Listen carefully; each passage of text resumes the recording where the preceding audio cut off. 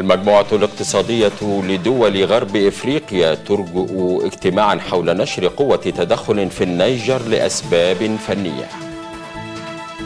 الأمطار الغزيرة تفاعل حالات الطوارئ في الصين وروسيا وحرائق الغابات تحصد أرواح العشرات في هاواي. وفي أخبار الاقتصاد إسبانيا ترشح وزيرة اقتصادها لقيادة بنك الاستثمار الأوروبي.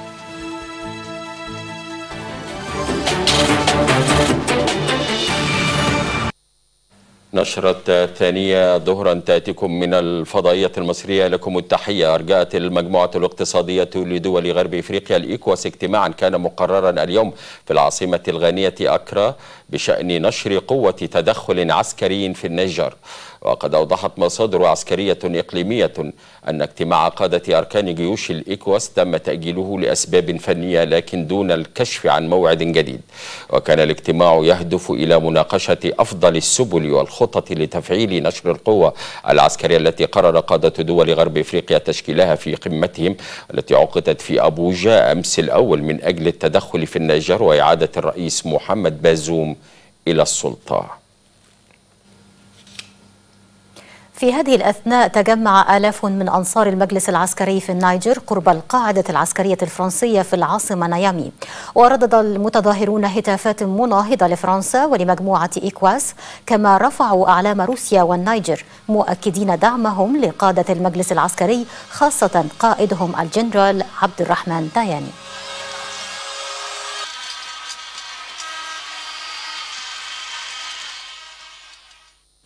أفاد المرصد السوري بارتفاع حصيلة الهجوم الإرهابي الذي شنه تنظيم داعش على حافلة عسكرية للجيش السوري في ريف دير الزور الشرقي إلى 33 قتيلا على الأقل. وقال مدير المرصد إن هذا الهجوم هو الثالث على الأقل للتنظيم ضد الجيش السوري والمسلحين الموالين له منذ مطلع الشهر الحالي والأكثر دموية بينها. مضيفا أن التنظيم صعد في الآونة الأخيرة عملياته العسكرية الدموية وتيرة استهدافه لبعض النقاط بهدف إيقاع أكبر عدد من القتلى ليوحي بأنه لا يزال موجودا ويعمل بقوة رغم استهداف زعمائه. قال المجلس الوطني الفلسطيني إن إعدام قوات الاحتلال الإسرائيلي للشاب محمود جراد من مخيم طول كرم بالضفة الغربية المحتلة وإصابة عدد من الأبرياء هو امتداد لمسلسل الانتهاكات والإعدامات الميدانية المتواصلة بحق أبناء الشعب الفلسطيني. كان الشاب الفلسطيني قد استشهد برصاص قوات الاحتلال كما أصيب ثمانية آخرون على الأقل خلال اقتحام جيش الاحتلال المخيم الخميس وإطلاقها الرصاص الحي على الفلسطينيين. كما نشر الاحتلال قناصته في محيط المخيم وعلى جوانبه وسط إطلاق كثيف لقنابل الصوت والغاز.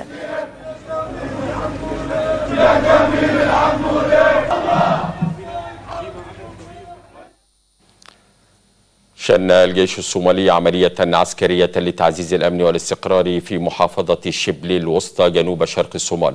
وقال قائد الجيش الصومالي إن الهدف من تلك العملية العسكرية هو القضاء على فلول حركة الشباب المتمردة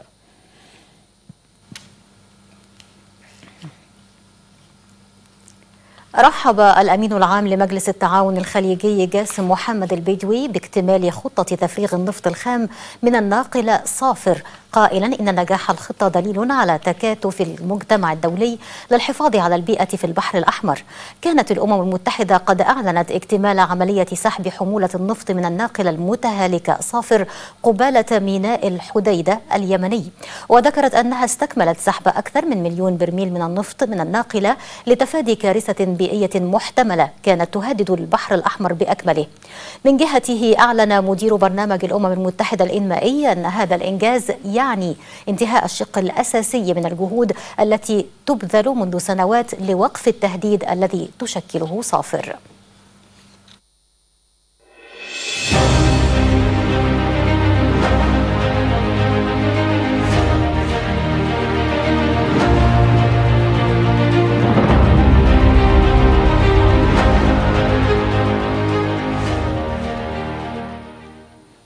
أعلنت هيئة الأركان العامة للقوات المسلحة الأوكرانية أن الجيش الروسي شن خلال الساعات الأربع والعشرين الماضية خمس ضربات صاروخية وإحدى وثلاثين غارة جوية وتسعة وأربعين هجوما بالمدفعية الثقيلة على مواقع عسكرية أوكرانية وبلدات مأهولة بالسكان.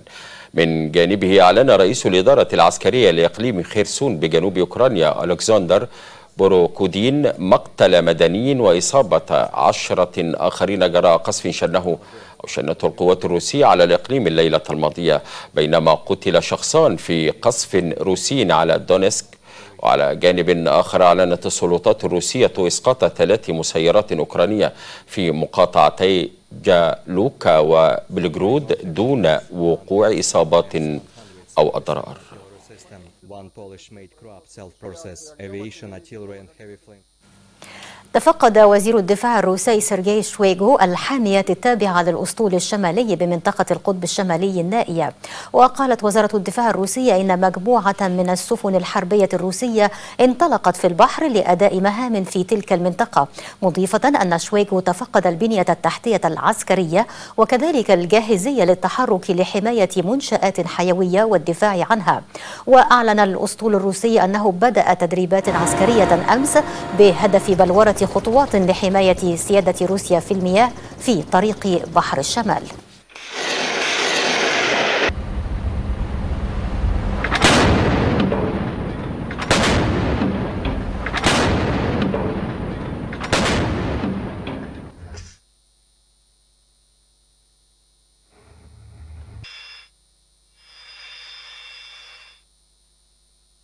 اتفق رئيس الوزراء الباكستاني المنتهي ولايته شهباز شريف وزعيم المعارضة رجاء رياض على اختيار عضو مجلس الشيوخ الباكستاني أنور الحق كاكار لرئاسة حكومة تصريف أعمال للإشراف على الانتخابات العامة المقرر إجراؤها بحلول نوفمبر ويجب أن تجرى أو يجب أن تجري باكستان انتخابات عامة في غضون 90 يوما بعد أن تم حل مجلس النواب في الثاني عشر من أغسطس.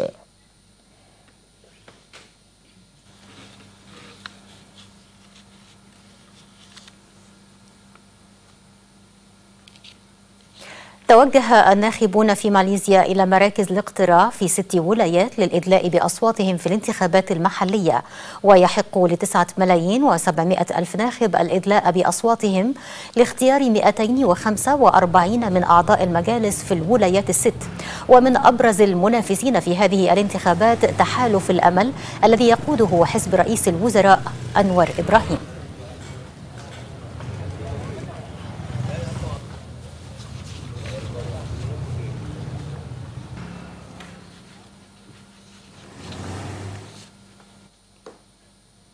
دعا وزير الخارجية الصيني وانغ الفلبين للتعاون مع بلاده لإيجاد وسيلة فعالة لنزع فتيل التوتر في بحر الصين الجنوبي.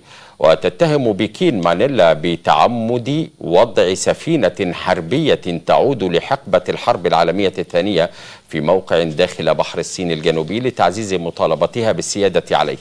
ولا تعترف بكين بحكم قضائي دولي صادر في عام 2016 يمنح مانيلا الحق في هذه المنطقة كما ترفض الصين أي مطالبات بالسيادة التاريخية في المناطق الاقتصادية للفلبين وفيتنام وماليزيا وبروناي وأندونيسيا في بحر الصين الجنوبي.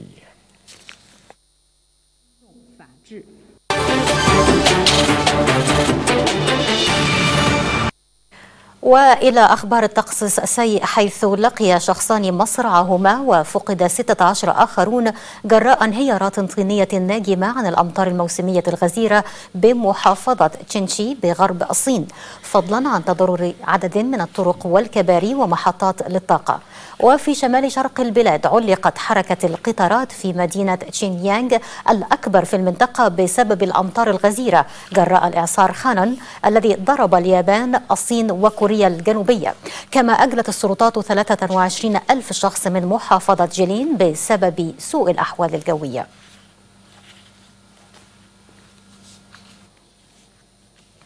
وفي روسيا أصدرت السلطات المحلية إعلان حالة الطوارئ وأوامر بإخلاء بعض أنحاء الشرق الأقصى بعد هطول أمطار غزيرة على قرى في أعقاب الإعصار خانون الذي ضرب اليابان الأسبوع الماضي.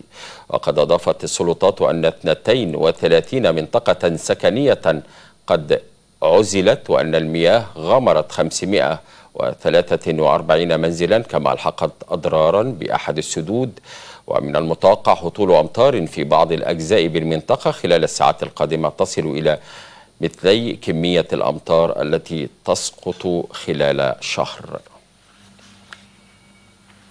أعلنت السلطات في جزيرة هاواي الأمريكية ارتفاع حصيلة ضحايا حرائق الغابات التي اجتاحت مقاطعة ماوي إلى 80 قتيلا. كما أشارت إلى أن الحرائق تسببت في تدمير الجزء الأكبر من مدينة لاهاينا السياحية. وأعلن مسؤولون في هاواي أن عدد الضحايا مرشح للارتفاع بينما ستتطلب إعادة إعمار بلدة لاهاينا سنوات عديدة ومليارات الدولارات. وتم نشر الحرس الوطني كما أعلن الرئيس الأمريكي جو بايدن حرائق هواي, هواي كارثة طبيعية كما خصص مساعدات فيدرالية لجزيرة ماوي.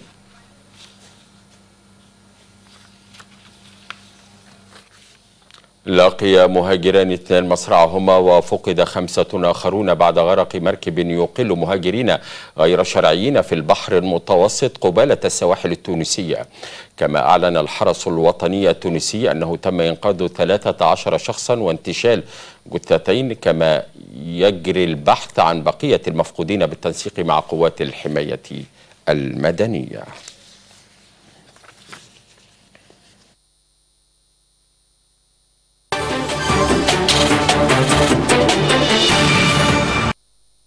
مرحبا بحضراتكم من جديد.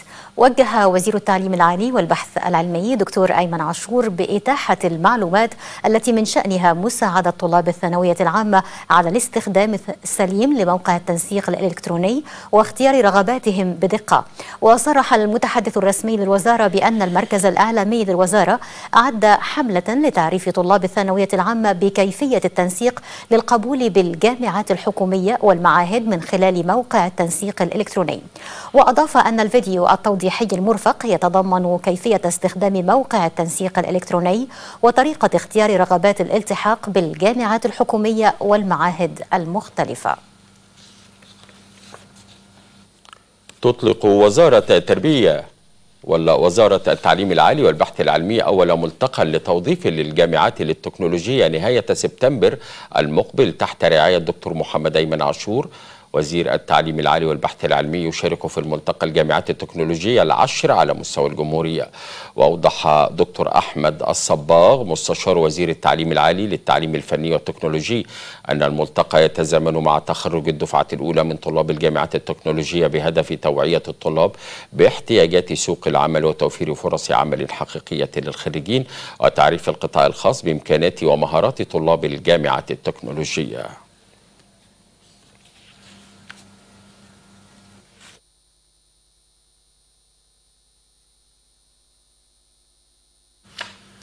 تواصل المحال التجارية على مستوى الجمهورية تقديم التخفيضات المختلفة خلال الأوكازيون الصيفي لهذا العام والذي انطلق في السابع من شهر أغسطس الجاري.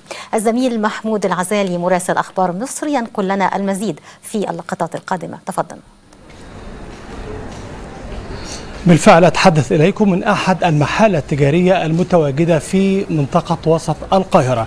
هذا الأوكازيون الصيفي أو الموسم الصيفي لأن لدينا اثنان الموسم الشتوي والصيفي. نحن في الموسم الصيفي الذي بدأ في السابع من أغسطس الجاري ويستمر لمدة شهر يستمر حتى السابع من الشهر المقبل بإذن الله شهر سبتمبر وربما يمتد لما بعد ذلك لكي يستفيد المواطنين يستفيد المواطنون وأيضا الباعه والأسواق من قدوم المدارس والجامعات. اذا لدينا أكثر من شهر تقريبا ليستفيد الأهالي من هذا الأوكازيون لأن الهدف الأساسي من الأوكازيون هو رفع العبء عن كاهل المواطنين وأيضا تنشيط وإحياء الأسواق نظرا لحالة التضخم أو بسبب ارتفاع الأسعار في الفترة الماضية بسبب الظروف العالمية التي تمر وتاثر بها مصر كما تاثر بها بقية دول العالم. وزارة التموين وضعت عددا من الاشتراطات للمشاركة في الأوكازيون الصيفي، البداية كانت بحوالي 400 محل تجاري تصل في هذه المرحلة إلى حوالي 4000 محل تجاري ربما تزيد عن ذلك في الفترة المقبلة لأن المشاركة متاحة لكل المحل على مستوى الجمهورية. لكن هناك عدد من الاشتراطات أولها أن يكون أو أن يذهب صاحب المحل أو من ينوب عنه إلى مديرية التموين التابع لها في المنطقة التي يتبعها المحل، أيضا اشترطت وزارة التموين على المحل المشاركة أن تظهر الأسعار الجديدة مقارنة بالأسعار القديمة، وحذرت أيضا وزارة التموين من التلاعب بالأسعار وقدمت بعضا من النصائح للمواطنين المواطنين لكي يتمسكوا بحقهم ولا يكون هناك أي حالة من استغلال المواطنين أبدا. وزارة التموين منها على شقيها التضامن عفوا التجارة الداخلية وحماية المستهلك. قدموا المواطنين عددا من الضوابط وعددا من الشروط لكي يحتفظوا بحقهم. أولا لابد من المطالبة بفاتورة بفاتورة الشراء للتأكد من حق المواطن في استرجاع السلعة الذي لا يقل طبعا عن 14 يوما وقبل الشراء لابد أن يتأكد من حالة السلعة وجودتها وإذا كان هناك أي تغيير في حالة السلعة الذي يريد أن يشتريها مثلا في الأقمدة التي أمامنا نعم. الآن فعليه أن يتوجه بالشكوى بالشكوى هناك خط ساخن لوزارة التموين لكي يشتكي المواطن. هناك عملية ضبط قضائية من حماية المستهلك. إذا كل ما يهم وزارة التموين وكل ما يهم الدولة في هذه المرحلة في الأوكازيون الصيفي هو حماية المواطن وتخفيف العبء عن كاهله وأيضا والأهم إحياء وتنشيط الأسواق في هذه المرحلة. إليك دينا. محمود العزالي أشكرك شكرا جزيلا. محمود العزالي مراسل أخبار مصر. كنت معنا مباشرة ومتابعا للتخفيضات الصيفية. انطلقت فعاليات المؤتمر الصحي للصحة النفسية تحت رعاية مركز المنتدى العالمي للتدريب. ناقش المشاركون في المؤتمر العديد من الموضوعات ذات الصلة بالصحة النفسية للأشخاص وتأثيراتها على المجتمعات. نتابع بمشاركة كوكبة من المتخصصين والأطباء وتحت رعاية مركز المنتدى العالمي للتدريب انطلقت فعاليات المؤتمر الصحفي الذي حمل عنوان الصحة النفسية وتأثيرها على المجتمعات العربية. الصحة النفسية هي أساس التربية والتنشئة في كل المجالات في في مجال الصحة النفسية في مجال الإرشاد الأسري في مجال الأمومة والطفولة في مجال العلاج النفسي إذا أنشأ الطفل تحت التربية صحيحة وتنشئة صحيحة مش هيبقى عندنا مشاكل نفسية. المؤتمر يناقش خلال جلساته العديد من المحاور المهمة التي تؤثر على الصحة النفسية للإنسان خاصة في مرحلة الطفولة. عندنا مفهوم الصحة النفسية وتأثيرها على الأسرة العربية الاضطراب النفسي داخل الأسرة تأثير السوشيال ميديا على الصحة النفسية تأثير الاغتراب النفسي الطلاق النفسي عندنا الخرط الزواجي مشاكل الأسرة بصفة عامة وتأثيرها على على الأسرة وعلى المجتمع المجتمع ككل. إزاي أنا هقدر أتلاشى مشاكل مشاكل الأسرة عشان أحقق الصحة النفسية للأسرة ككل وللفرد؟ فبالتالي هحقق مجتمع متكامل عنده صحة نفسية عنده وهحقق تطور وتنمية في كل المجالات. للمؤتمر بيهتم بالصحة النفسية خاصة للإيه؟ للأسرة المصرية. وبيشوف كل المشاكل اللي مرت بها الاسره المصرية منذ الطفولة وللشباب والكهولة بيعالجها أسباب الانفصال الأسري الطلاق أو وكل كل المشاكل الأسرية اللي بيخضع عليها المجتمع يعني. ويسعى القائمون على المؤتمر إلى توفير الآليات المناسبة للوقاية من الأمراض النفسية لما لها من تأثيرات وانعكاسات سلبية على الإنسان وبالتالي على كافة أفراد أفراد المجتمع. العديد من الموضوعات المهمة التي يناقشها المشاركون في المؤتمر الطبي الصحة النفسية وتأثيرها على المجتمعات العربية للتوصل إلى حلول جذرية تمكن الشخص من التغلب على ضغوط الحياة وتحقيق إمكاناته والتعلم والعمل بشكل جيد بما يؤثر على إسهاماته في المجتمعات بشكل عام. من مقر انعقاد المؤتمر أمل صبري النيل.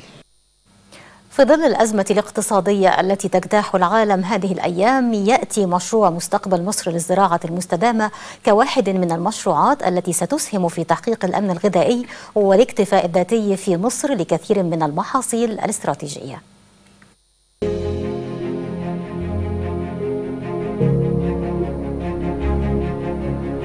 التاريخ يذكر دوما بين سطوره أن مصر كانت صمام الأمن الغذائي في العالم القديم. ومع تقلبات زمانية ومكانية وكثرة التحديات تغيرت الأوضاع وأصبحت دول كبرى تتحكم في مصير الأمن الغذائي للشعوب. من هنا جاءت رؤية القيادة السياسية المصرية بتحقيق الاكتفاء الذاتي واستعادت مكانة مصر الزراعية. إحنا عايزين نعمل ريف جديد. متنظم مترتب. كل حاجة فيه للأهل اللي هيروحوا ده عايز جهد كتير وكمان عايز تمويل كبير.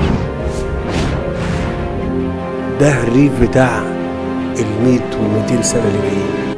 كان حلما لسنوات طوال عجاف لكن عزيمة أبناء النيل وسواعدهم حولته لحقيقة خضراء في مشروع مستقبل مصر.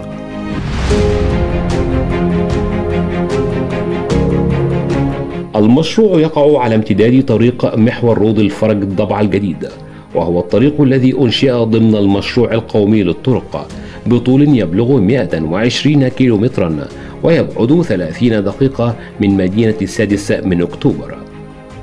المشروع يمثل 65% من الزراعة الآلية من بنجر السكر وينجح المشروع في توفير 550 مليون دولار من فاتورة الواردات. المشروع يوفر أكثر من عشرة آلاف فرصة عمل مباشرة وأكثر من 360 ألف فرصة عمل غير مباشرة.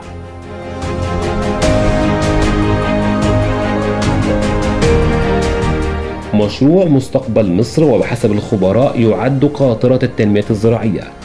لذا يرى البعض منهم أن تنظيم الزيارات الميدانية للأجيال الجديدة لرؤية هذا المشروع الضخم ليلمسوا بأيديهم وعن قرب ثمار التنمية وتكون خير رد على من يدعي غير ذلك. شريف رضوان التلفزيون المصري.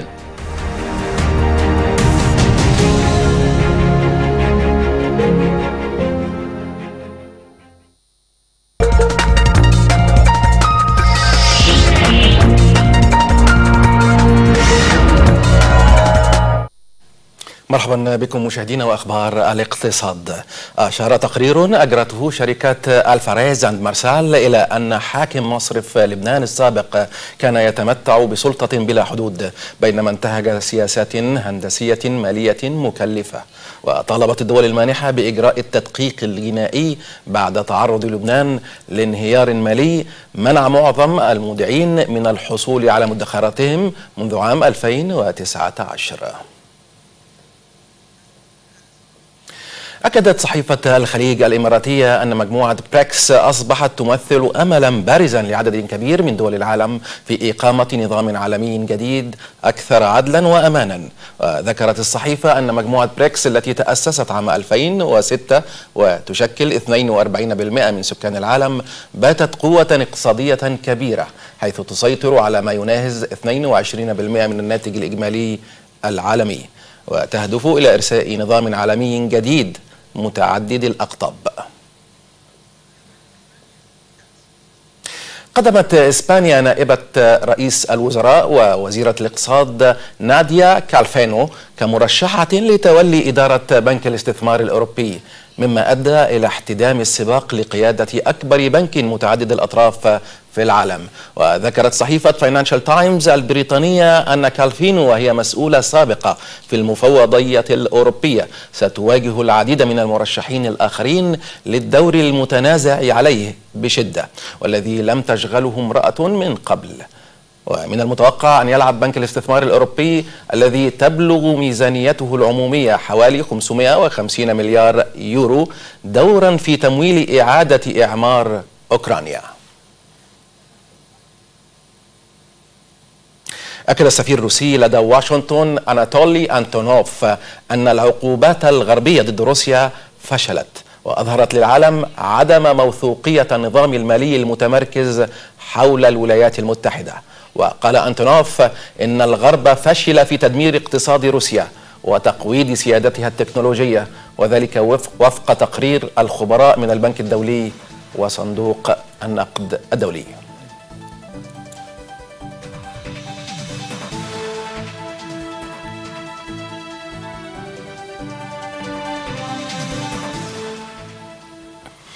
أوروبيا رجحت منصة يورا أكتيف المتخصصة في الشؤون الأوروبية أن تعافي التوازنات التجارية لأكبر القوى الاقتصادية الأوروبية. يرجع إلى ارتباطها بانخفاض فواتير الطاقة وتراجع الواردات الصينية. وأشارت المنصة إلى أن أرقام الميزان التجاري الإيطالي والألماني والفرنسي في النصف الأول من العام الجاري تفيد بتسجيل انتعاش حقيقي ويرجع ذلك إلى انخفاض فواتير الطاقة. مما جعل تداول السلع أرخص.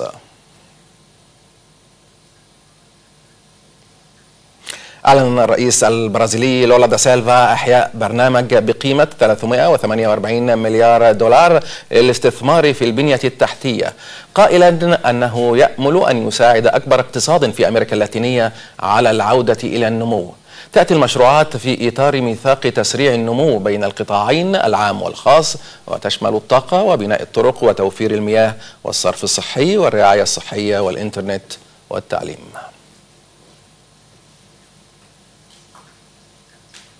انخفض المؤشران ناسداك وستاندرد أند بورز 500 عند إغلاق تعاملات بورصة وول ستريت وسجل خسائر للأسبوع الثاني على التوالي. وذلك بعدما دفعت قراءة أعلى من المتوقع لمؤشر أسعار المنتجين الأمريكيين عوائد سندات الخزانة للارتفاع وأسهم شركات التكنولوجيا الكبيرة للهبوط. وانخفض المؤشر ستاندرد أند بورز 500 بنحو 1 من 10% وخسر المؤشر ناسداك المجمع نصف بالمئة بينما ارتفع المؤشر داو جونز الصناعي بنحو 3 من 10 بالمئة. في أسواق النفط ارتفعت أسعار النفط العالمية بعد أن توقعت وكالة الطاقة الدولية طلبا عالميا قياسيا وتقلص وتقلص الإمدادات مما دفع النفط لتحقيق لتحقيق مكاسب الأسبوع السابع على التوالي في أطول سلسلة مكاسب منذ عام 2022 وارتفعت العقود الآجلة للخام العالمي مزيج برنت بنحو نصف بالمئة لتبلغ عند التسوية 86 دولارا و81 سنتا للبرميل فيما صعدت العقود الآجلة لخام غرب تكساس الوسيط الأمريكي نصف بالمئة لتسجل 83 دولار دولارا و19 سنتا للبرميل عند التسوية. وصلنا وحضراتكم إلى ختام الثانية. هذا تذكير بأهم ما جاء بها من عناوين. المجموعة الاقتصادية لدول غرب إفريقيا ترجئ اجتماعا حول نشر قوة تدخل في النيجر لأسباب فنية. الأمطار الغزيرة تفعل حالات الطوارئ في الصين وروسيا وحرائق الغابات تحصد أرواح العشرات في هاواي. والمزيد عبر موقعنا الإلكتروني مسبيرو دوت إي شكرا لطيف المتابعة. إلى اللقاء.